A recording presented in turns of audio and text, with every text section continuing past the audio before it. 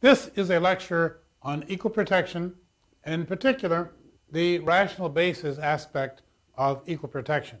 Now, I assume that you have uh, watched the lecture, the introductory lecture to equal protection, and we know that in equal protection we have these three levels of scrutiny strict scrutiny, middle tier, and rational basis. And this lecture is about the rational basis.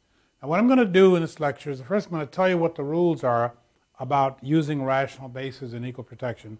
We're going to recite the rules, and then we're going to look at lots of examples, real life examples, where the rational basis test has been used. And that is the best way to become very familiar with what it's going to look like on an examination because they often choose from these real, almost always, choose from some real life example where there's a real case. Beginning with a summary of what equal protection is really all about is first of all, when do you apply it?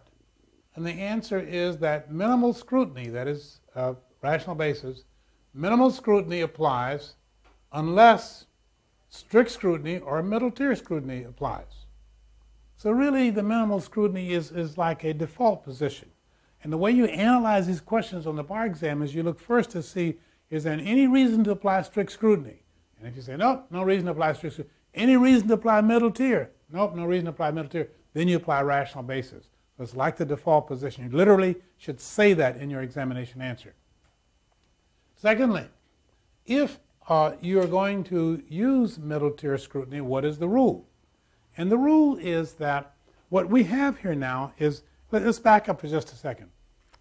Equal protection is really about how you govern if you are running things. How do you govern? And the way you govern is you, you look at the difference in people's behavior. And uh, if, if you then uh, you, you classify people into those who did one behavior and those who did a different, and the losers, you do something bad to the losers, and that hopefully gets people to behave the way you want them to. And so the basic rule is that the, the, the, the criteria that you use to decide which way you're going to treat people. Someone's over 50, they're under 50, maybe they have to retire if they're over 50. Someone is a striker and they want food stamps, somebody else is not a striker and they want food. So you make this distinction and you are the, the people, and the, making this distinction, the distinction, the criteria that you use to form the groups, using those criteria must be a rational way, and then doing something to the losers must be a rational way to promote the goal, the purpose of the legislation. Once again, uh, you form some criteria for uh, you're going to treat people different on the basis of age, on the basis of whether they're strikers or not, on the basis of, of you know whatever your basis is. Uh, you, you treat people different on the basis of this, and you say, uh, here's what I'm going to do to the losers, and the question is, does that advance or promote the purpose of the statute, uh, purpose of of the rule of law? Now, when you do that, the first thing to keep in mind is right here, and that is that the governmental purpose, so far as the court's concerned, will be hypothesized. Any conceivable governmental purpose will serve this, question, this part right here. It was the government trying to achieve a lawful purpose by this classification scheme, using this criteria where they're trying to achieve a lawful purpose. Well, what was the lawful purpose? Well, the lawful purpose has to be some, if it's a state, the only four things the state can do is to promote health, welfare, safety, and morals. Now we know that. So anything that the state is trying to advance needs to be traceable back to the state trying to promote health, welfare, safety, or morals. So in the case, for example, of no hired advertising on your truck, you can put your own advertising, but you can't put other people's advertising on your truck. And so the uh, what is the purpose of that legislation? Well, New York says the purpose was safety uh, because with all these signs on trucks, people are watching signs and not watching the traffic. Purpose was safety. Well, that's promoting health, welfare, safety, or morals. So anything that the government does must be uh, an attempt to promote safety. Um, the, in the case of the strikers, strikers who, there were some people on strike, and one of the examples I'll show you, where people on strike wanted food stamps, and people who didn't have a job, they, you know, they weren't, had a job in strike and they had no job, and they want food stamps. And so the government made a distinction between these people, and they say, uh, one of the government goals is to remain neutral in these private strikes. And if we're going to remain neutral, if we're feeding the strikers, that doesn't look like we're remaining neutral. Well, this government goal, remember this is the federal government now, the government goal has to be one of the things that the government, federal government, is authorized to do in the Constitution. Commerce clause is one of them. Labor is within the commerce, is considered a part of commerce.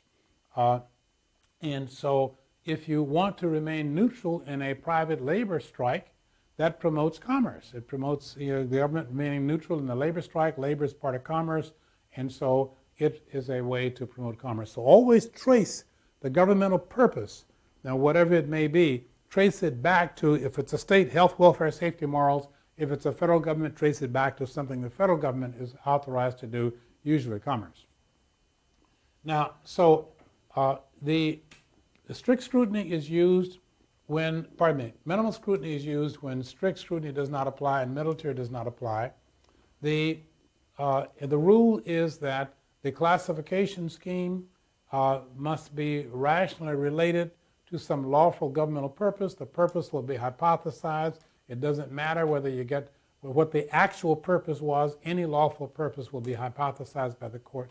They don't have to get the right. In fact, the, the legislature could have the wrong purpose and it would still work. Okay? As long as there's a hypothesis, uh, you know, you can, uh, a, there was a possible lawful purpose. Secondly, that the classification scheme must be rationally related to that purpose. That means that the classification scheme must be a reasonable way to promote that governmental purpose. And here again, the government doesn't have to be correct in the sense that this really would have promoted the, the, the, the government purpose. They can be wrong. The question is, well, could, could the legislature have believed at the time that the law was passed that this was a rational way to advance the governmental interest? For example, there's one case in Minnesota where uh, the, the law was you can't put milk in plastic bottles anymore, but you can have milk in cardboard bottles with plastic, you know, coating. Well, and so they thought this was going to promote environmental you know, protection.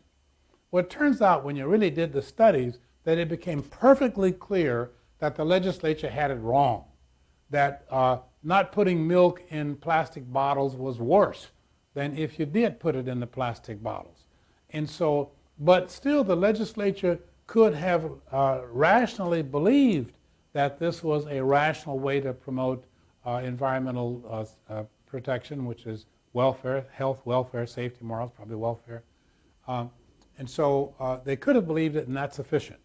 So the rule is then that if uh, in minimal scrutiny, is that the classification scheme, the way you classified people, and, and you treat one of them badly, and by the way, you classify people and you treat one of the groups badly in order to govern, but the group that you treat badly, you must not, if you impair, if you treat them so badly that you impair one of their fundamental rights, okay, the fundamental rights for equal protection purposes are the right to vote, uh, uh, the uh, right to travel, right of access to the courts, and the other explicitly mentioned fundamental rights like those in the First Amendment.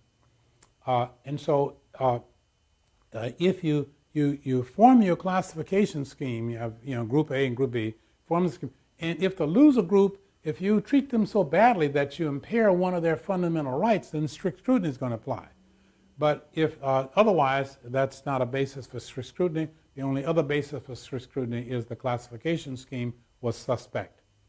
Now, so uh, the rule then is that the, uh, in cases of minimal scrutiny, that the, the, the, the, uh, classification scheme must be a rational way to promote a legitimate governmental interest.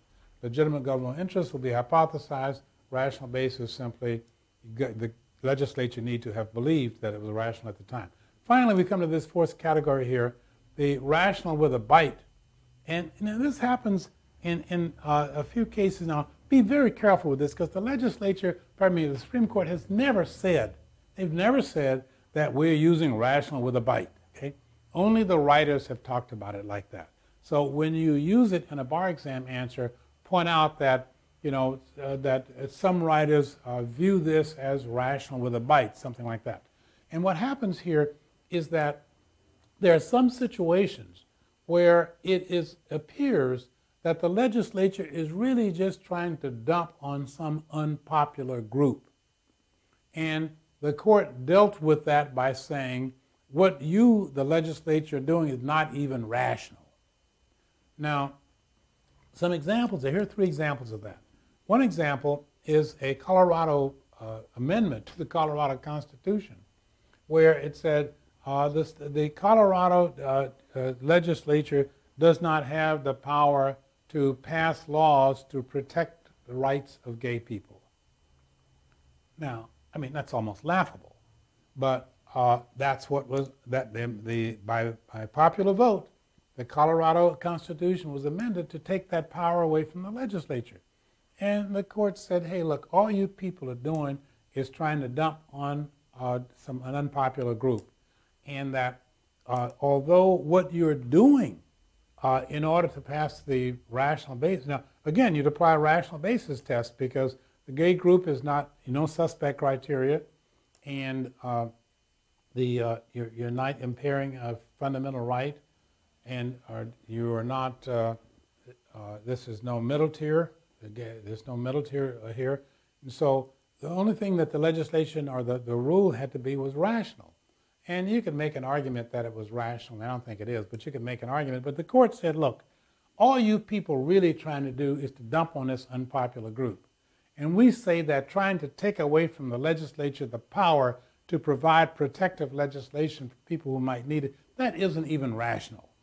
And so uh, that's kind of an example of rational with a bite. Another example of that is a, a, a case, uh, uh, the, the, Department of Agriculture versus uh, uh, uh, Moreno. And in that case, the, the court, what had happened is that the, the state, the, the government had put out some food stamps, and the, the, this, the state of Maryland, who was doing the distribution of these, said, uh, we're adding to the food stamp program rule that we will only give these food stamps to households. We will not give the food stamps to a household if there's anybody in the household who isn't related to somebody, to the other people there. So relatives only is what they're saying. And the court said, hey, look, what you're really trying to do, because it was apparent from the legislation that what they're really trying to do was, was anti hippie. And the court said that that wasn't even rational. Another example of that is a case where uh, uh, the, the city of Cleburne, you probably know the case, where the city had a rule that says if you want to have a home for the mentally retarded, you got to get a special permit. But you could have a home for, you could have a hospital, you could have a nursing home, you could have any other, other kinds of medical facilities, but you couldn't have a home for the mentally retarded without getting the special permit.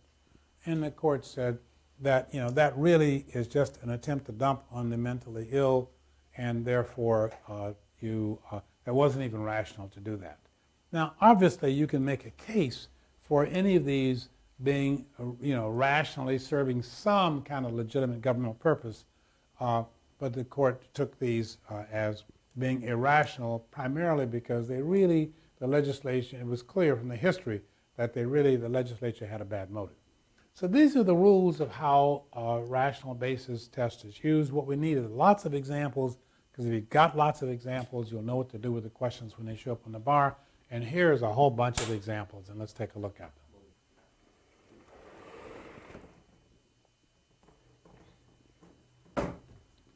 Now, let's look at these examples. And for each example, what we're going to do is we're going to look at this board and uh, see, does strict scrutiny apply? Strict scrutiny applies if there's a suspect criteria, uh, race or national origin. Uh, suspect strict scrutiny applies if you if what you do to the loser group impairs their fundamental rights. And here are the fundamental rights. Middle tier scrutiny applies if it's a quasi-suspect uh, criteria, which is gender or legitimacy, and otherwise rational basis applies. It's like a default position.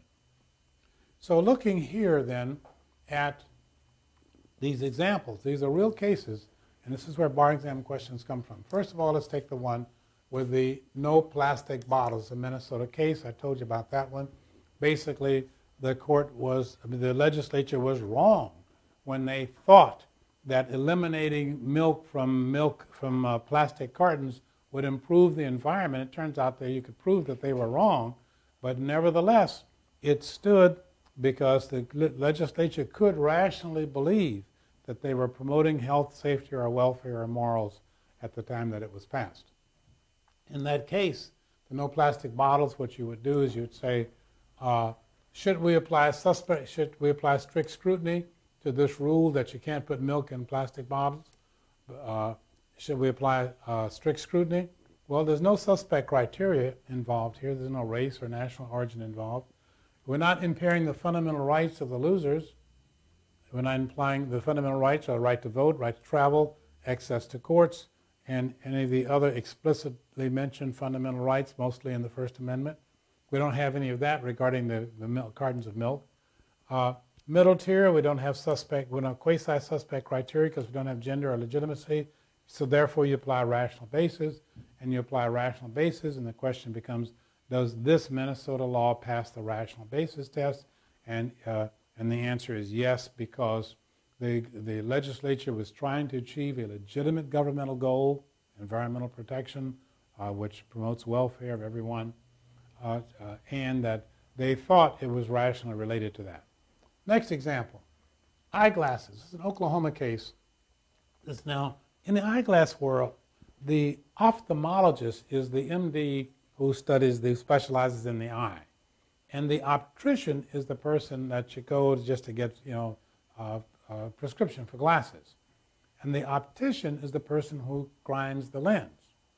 And Oklahoma passed a law saying the opticians who grind the lens cannot do so, uh, you know, for pay uh, without a prescription.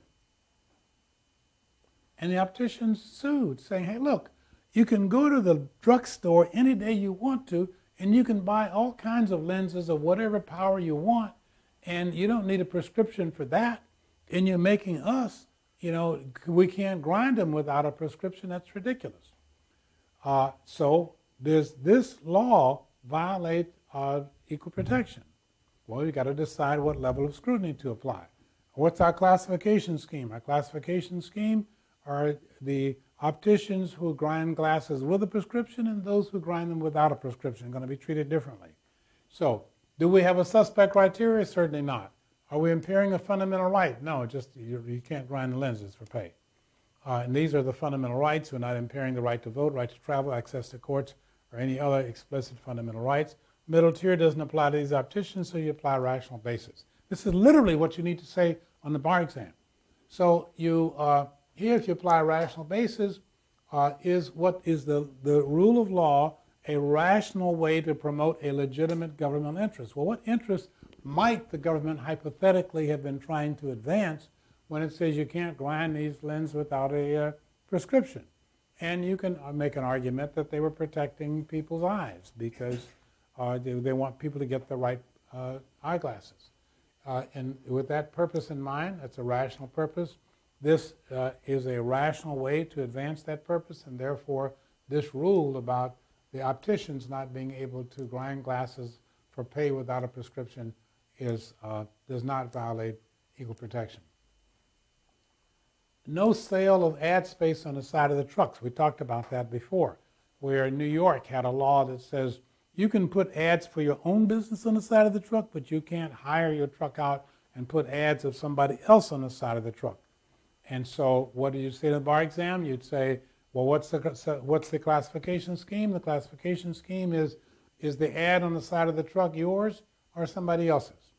Uh, and so is, is there a suspect criteria? Heavens, heavens no, the suspect criteria are race and national origin. We don't have that. Uh, are we impairing any fundamental rights of the losers? Well, the losers can't put the signs on the side of their trucks. We're not impairing their right to vote, right to travel, access to courts, or any other explicit First uh, Fundamental Rights, and therefore we have no basis for using strict scrutiny. Middle tier, we don't have gender or legitimacy, therefore you use, uh, you use uh, rational basis.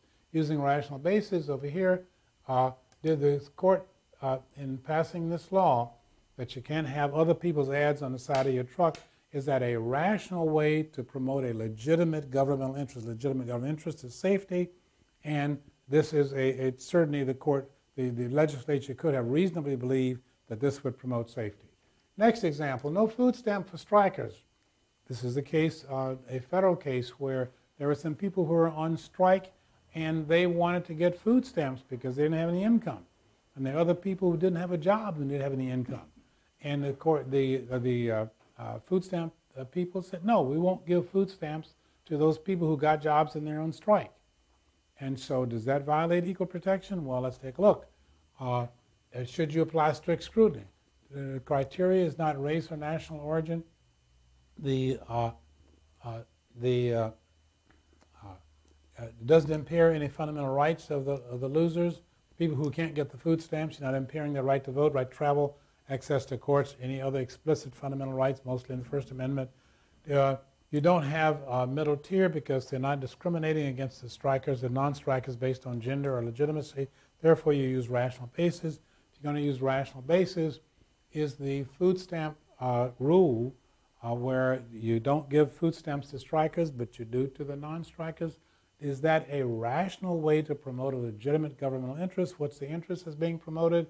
Well, the interest that's being promoted is for the government to appear to be neutral in these private strikes. And this is the federal government now, so you've got to look to the federal constitution to see what purpose they might have had. In this case, you look to Commerce Clause because the labor is a part of the Commerce Clause, and under you, you, you want to appear neutral in the strikes. That would help to promote, you know, uh, uh, uh, reduce strife in labor. You don't want the government choosing sides, and therefore it's part of the Commerce Clause to promote labor, good labor relations, and therefore this does not violate equal protection. Unequal educational expenditure. This is a Texas law. This is the Texas law, the Rodriguez case. This is the Texas law that says, look, uh, th these people were collecting taxes in this area and spending that tax money on the students in this area. Next area, you collect taxes from this district and you spend the tax money on the students here. So the poor neighborhoods weren't getting much tax money and they weren't getting much in the way of good schools. And so the people who weren't getting much in the way of good schools filed a lawsuit saying, violating our equal protection rights. Well, let's see. Does unequal expenditure of school funds in this way violate equal protection? What's, what level of scrutiny shall we use? Strict scrutiny?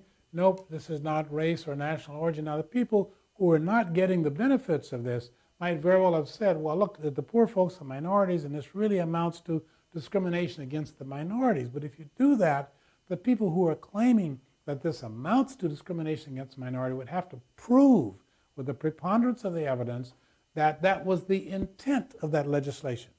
They, they did this with the intent to discriminate against minorities. And, and if you can prove that, then you can use strict scrutiny. But if you can't prove that, you can't. Uh, they couldn't prove it, and so we don't have suspect criteria. Uh, doesn't impair any fundamental rights. The fundamental rights are right to vote, right to travel, access to courts, uh, other explicit fundamental rights, mostly in the First Amendment. Uh, the criteria did not use gender or legitimacy, therefore we use rational basis. And so as using the rational basis test, the state of Texas, or this district in Texas, was uh, running their school education system in that way. Whatever you might not like about it, uh, it is a rational way to promote a legitimate governmental interest. What is the legitimate governmental interest? Uh, uh, uh I don't know. Make up one to, uh, uh, you know, have the local communities fund their own schools or something. That's probably rational. And so this did not violate equal protection. No methadone for bus drivers in New York. New York had a rule that says if you're a methadone user, you can't drive one of our public transportation buses.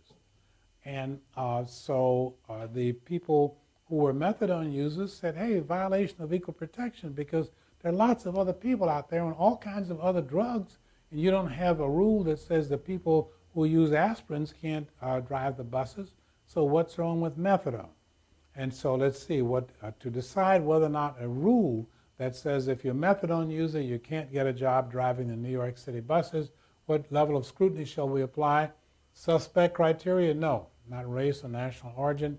If most of the bus drivers who were the victim of this were minorities, uh, and they claim that this really amounted to a discrimination against minorities, they'd have to prove that the rule was created with the intent to discriminate against minorities. You don't have that. Uh, it doesn't impair any fundamental rights because the fundamental rights are these: right to vote, right to travel, access to courts, other explicit fundamental rights.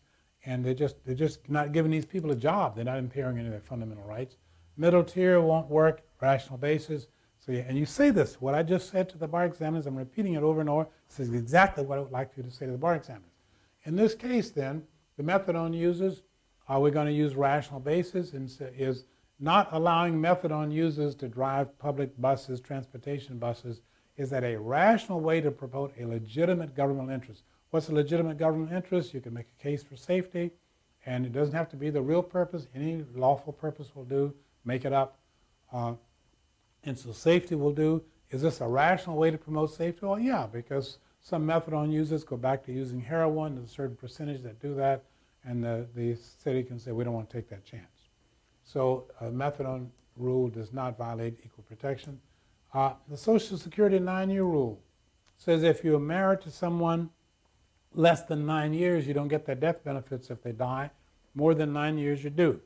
And so uh, someone filed a lawsuit claiming violation of equal protection. Does this violate equal protection? Well, let's see what level of scrutiny shall we use. Suspect isn't going to work. Doesn't impair any fundamental rights. None of these fundamental rights are impaired against the loser. Middle tier, this was not based on gender or legitimacy. Therefore, you got to use rational basis. If you're going to use rational basis, does the government have a rational reason for the nine-year rule? Yes. It prevents fraud in the Social Security system, and this is certainly a rational way to do that.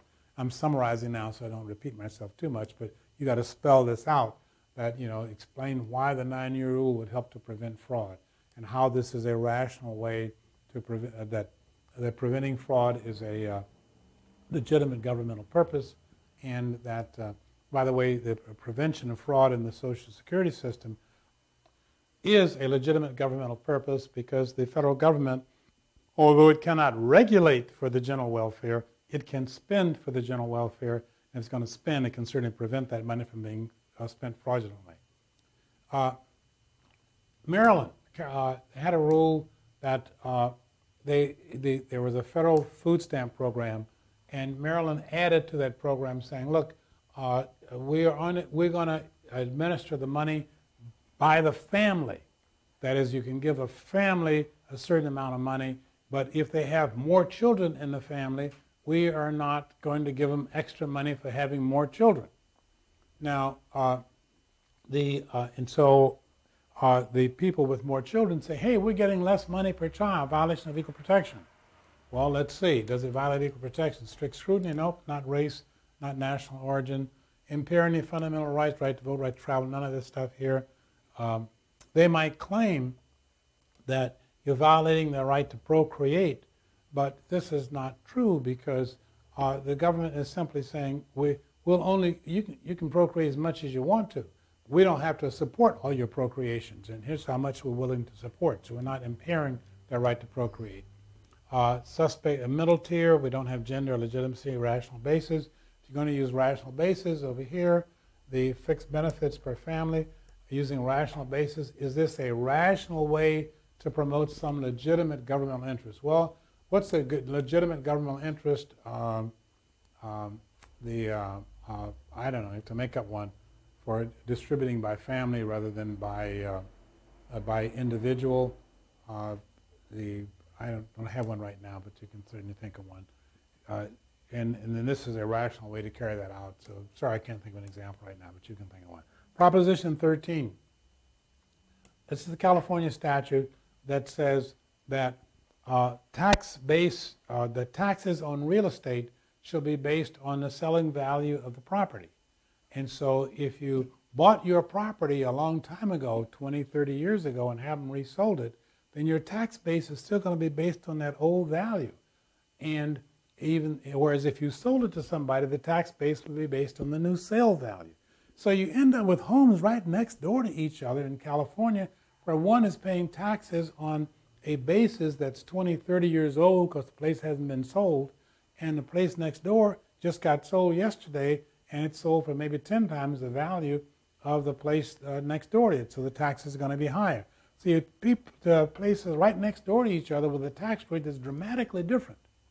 And the courts, uh, and so the people who were had to pay the higher tax rate sued.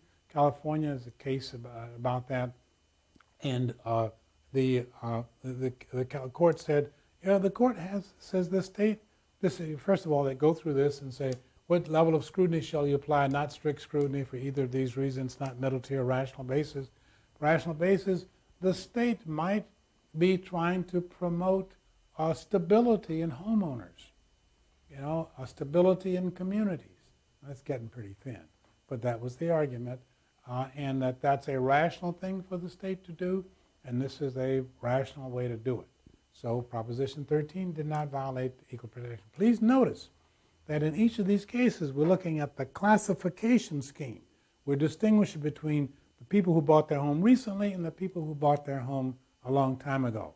And is making a difference between those two people a rational way to promote stability in home in uh, neighborhoods? And the answer is yeah, sure. Police retirement at age 50, Massachusetts rule says, you know, you get to be age 50, you got to retire. People who were over age 50 didn't want to retire, brought a suit, equal protection. What standard shall you use? Not strict scrutiny, obviously, not middle tier, obviously, rational basis. And uh, the rational basis, uh, the rational basis might have been that we want a fit police department. Now, I realize that there's some people over 50 who are fit, but that's not the point. We're not taking their jobs away from them. We're simply saying you're you have a job until you're age 50. After that, you don't have a job anymore. And so uh, the, uh, this, re this requirement that people retire at age 50 is, uh, promotes a legitimate governmental interest, uh, a, a, healthy and agile police department, and this is a rational way to do it. That's all you need. Uh, we have a case in New York. New York says you cannot teach in the public schools if you're eligible for citizenship and you don't apply. So if you're eligible to get your citizenship and you say, I don't want to be a citizen, then the New York school system says, well, you can't teach here. Now, this is not discriminating against aliens. It's, uh, it's simply saying, if you don't want to be a citizen, that's different. You, if you could be a citizen and you don't want to be one, we don't want you teaching in our schools because part of what you have to teach in our schools, particularly for young children, is a sense of national uh, interest, national, uh, uh, some, some loyalty to your national country. And so this did not violate equal protection. Why? You go through this. What scrutiny shall you use? Uh, you don't have race or national origin. You're not impairing any of the fundamental rights of these people. You're just talking about their jobs. So you don't, you're not impairing their right to vote, travel, access to courts, other explicit constitutional rights quasi-contract, quasi-suspect criteria. We're not doing it on the basis of gender. You use a rational basis. Does the state have a, is this have a rational reason? And yes, and is this a, re, a rational way to promote their legitimate governmental uh, purpose? And the answer is yes. New Orleans had a law about push carts in the French quarters. And so there were getting to be too many push carts in the French quarter. This place wasn't looking like a French quarter anymore. It looked like a push cart quarter. So the, the court, the, let, let, uh, uh, the Louisiana legislature says, here's what we're going to do. It says the people who've had the push carts in the French Quarter for eight years or more, you can continue to have your push carts there. It's part of the flavor of that community in New Orleans. But the newcomers who less than eight years, you can't have your push carts there anymore. So obviously you have a difference in treatment. And what's the classification scheme? Those people who've been had their push carts in the French quarters for eight years or more, and those who haven't. Is that classification a suspect criteria? No. Does it impair any fundamental rights? No. The fundamental rights are right here vote, travel, access to courts, explicit constitutional rights, First Amendment, no. Middle tier, no. Rational basis, use rational basis. Did Louisiana, is Louisiana trying to achieve a legitimate governmental purpose? Sure, they're trying to achieve a legitimate government purpose. They're trying to maintain the French Quarter so it looks kind of like what they want that attracts tourists and so forth. That's the legitimate governmental purpose, and that promotes what health? No, welfare. Probably welfare. It doesn't promote health, welfare, safety, morals. It promotes uh, welfare probably by by uh, in, in making the place look like they want it to look for tourists. And that brings in money. And so the people who had had not been had their push carts there for two years lost and it did not violate equal protection. Now, you've seen from these numerous examples how this uh, scheme works, and if you work it this way in the bar exam, you get a good grade. Uh, there are, I want to point out uh, one more thing to you, and that is that there are some cases where the court has said that the distinction that you are making isn't even rational. Now, that gets hard to find. We know that in those cases where they're saying it's not rational because really the legislature was trying to dump on some unpopular group, you don't have very many of those, so don't, you know, uh, make more of this than it really should be on the bar exam. Uh, but the only cases I know are the ones I mentioned to you, and one other, Plyler versus Plyler versus Doe, and uh, that's the Texas case where uh, uh, Texas said uh, we won't spend our money to educate the children of illegal aliens. Well, you know, that's you, the state has a rational purpose. We don't want to spend our money that way. But the court says, nope, you're basically, and the court didn't say you're dumping on an unpopular group. They never say that. So don't you, don't you act like the court said it. But you can point out that, you know, the, the writers are saying that. And that, uh, in effect, the, the court was saying, look, children of illegal aliens, uh, you know, they didn't choose to come here. And we're making them the victims when they had really had nothing to do with it. They're here because their parents are here. Not only are we making them the victims, they'll be victims forever. You don't educate this child for the first 10, 12 years of their life, they're a victim the rest of their life. And so is the rest of the country, too, probably. But in any event, you can see that the court says, no, this is too much of a burden to impose on people who really had nothing to do with the problem. And so it's not even rational to not educate those people. Those are the only examples I know of where the court says it's just not, uh, not rational because it looks like they were dumping on an unpopular group. But there are a bunch of other cases where the court says what the state's doing is not rational. I want you to be aware of these. Take a look at this first one. Uh, these first three here are the three that I told you about. Uh, uh, with the uh, uh, no food stamps to a household if there's anybody in there that's not related. Uh, uh, the state of Colorado pro- uh, prohibited from passing laws protecting gays. City of Cleburne, people who are mentally retarded. We've talked about how the court has said that's not even rational. Here's another example, an Illinois case.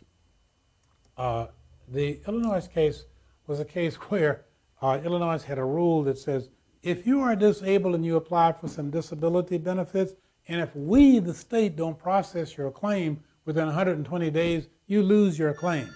Now, that is very ridiculous, and you can see how the court says that's not even rational.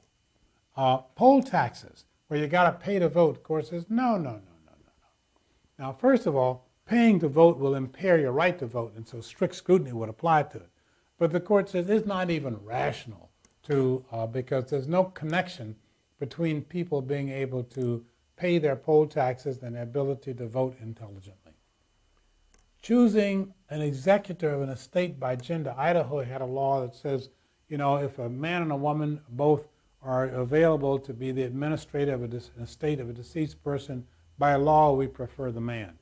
And the court says, come on, folks, that's not even rational. Of course, you could apply middle tier and say it, it doesn't meet middle tier scrutiny also, but it's not even rational let alone middle tier. Alaska, uh, minerals for dividends. Alaska had a rule that says uh, if you are, uh, uh, that we've, we've got a whole bunch of, of resources here, oil mostly, Alaska that we didn't know we had. And we got all this money in for taxes, and we really don't need it all. So we're going to pass it out to the citizens. But the money we're going to pass out to the citizens is going to depend on how long you've lived here you live too longer, you get more. And the court says, no, no, no, no, no. But that's not even rational. And part of the reason is that it sort of indirectly interferes with the right to travel. Uh, but the court decided that this was not even a rational scheme. Charging higher taxes to out of state insurance companies. Alabama had a rule like that. Well, you charge higher taxes to out of state insurance companies, and what is your legitimate governmental purpose? Uh, well, I guess to raise taxes. Uh, trouble with that is that, you know, corporations uh, don't have privileges and immunities. Individuals have privileges and immunities. And corporations don't have right to travel. And so for a corporation, you can't, you can't void the statute on the basis of privileges and immunities or right to travel. And so what the court did in this Alabama case, it says that charging the out-of-state insurance companies obviously interferes with interstate commerce and that it's not even rational. And the reason, you want to be a little careful here, the reason it wasn't rational is because um, the, uh, the theory is that uh, if, you, if you have a state law and the whole purpose of the state law is to favor your state over the national economy, that that is considered not even rational. Now, nowadays we don't treat that as not rational. We say if your state law, uh, uh, you know, prefers your state, favors your state over interstate commerce, that strict scrutiny will apply to that. Is the way we do it nowadays. But in the old days, when this was around, we, the rule was more absolute that if you passed a state law that favored your state over the national economy, that that's not even a rational thing to do. And that's how this one got thrown out as not being rational. Denying education to legal uh, to children of illegal aliens, we talked about that. That's not rational. Finally, we come to those cases that you know about, but let me refresh your mind again. That in some cases, the state has a rational reason for doing what they're doing, and the person who is injured by that is going to say, Yeah, you got a reason, but really what you're doing is discriminating on the basis of gender, on the basis of race, on the basis of national origin. And that's what you're really doing. And the answer is, well, you can claim that if you want to, but you got to prove it. Otherwise, you don't get any place with it. And if you can prove it, that they're discriminating on the basis of race, gender, then you can use the standard that goes with that. Uh, police examination, Washington, D.C., the, uh, the people who were not doing well on the examination said the purpose of the exam really was to keep blacks from becoming a part of the police department. And the court said, prove it. They couldn't prove the intent. Reapportionment for voting. Alabama had a case. There's several states that have had a case of reapportionment where, you know, you take a district that's large enough to elect somebody to be on the city council, and now the city re- rezones this, redistricts it so that a part of that district is now in District 1, and a part of that district is in District 7, and part is in District 2, and so forth. So the, these people now who used to be able to elect somebody to represent their interest on the city council can't do it anymore. And so if they say, hey, you broke this up in order to dilute our vote, that's impairing our right to vote. And strict scrutiny applies to that. Court says, yep, if you can prove that the purpose of this breakup was to dilute your vote, strict scrutiny will apply. But if you can't prove it, it doesn't. Now, the city's going to say, oh, no, no, we didn't break up this district for that reason. We broke up this district because we've got these economic reasons and, you know, the bus routes and, you know, the stars in the sky, and whatever that reason may be. And they, but if you can, if those reasons sounds phony enough, that helps to prove that they weren't legitimate. But in any case, the people who are claiming that the reapportionment was in order to dilute your vote, they got to prove it. Without intent, it doesn't work. Rezoning to allow low-income housing. This was a Virginia case in which uh, there was a community that had a bunch of expensive uh, single-family dwellings, and somebody applied for a permit to put some low-income housing in that district, and they wouldn't give them the permit. And so your distinction is between people who apply for permits for single-family dwellings and those who apply for permits for low-income housing dwelling.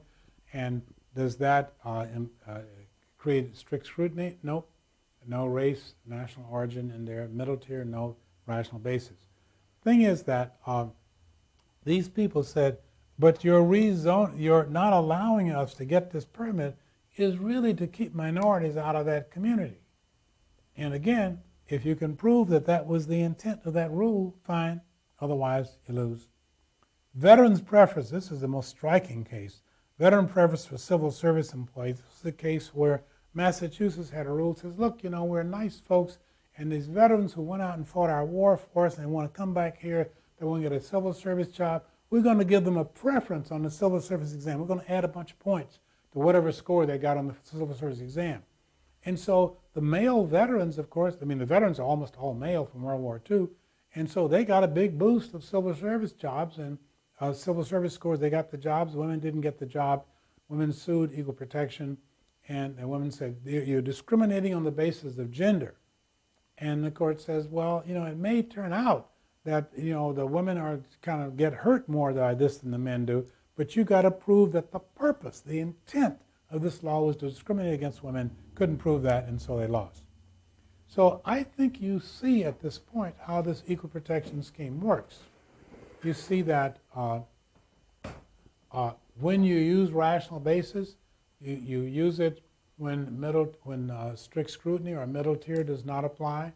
When you apply rational basis, that any governmental purpose will do. You can make up one, and the law has to be the, the classification scheme, the way you group the people, has to be rationally related to achieving that governmental purpose.